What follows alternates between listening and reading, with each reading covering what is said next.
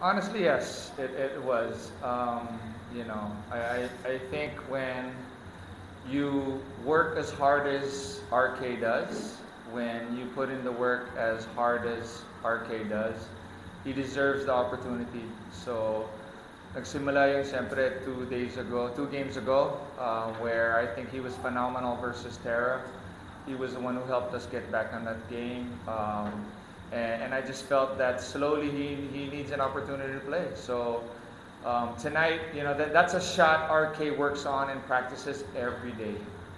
So I didn't have a problem him taking that shot. I knew he was going to be able to get a shot off around the free throw line area, if not a little higher. So um, good for him. I'm happy and I'm proud of him. Coach,